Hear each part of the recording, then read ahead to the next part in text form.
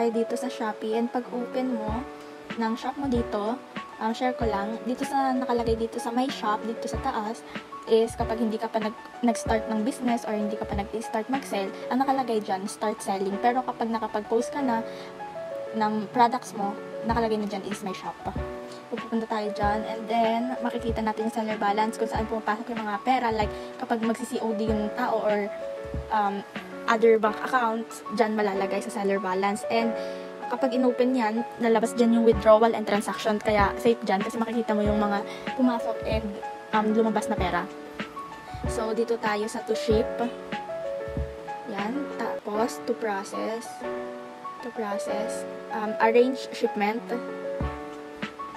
Yan. Tapos, pick up yung pipili natin. Yung date naman is Sunday.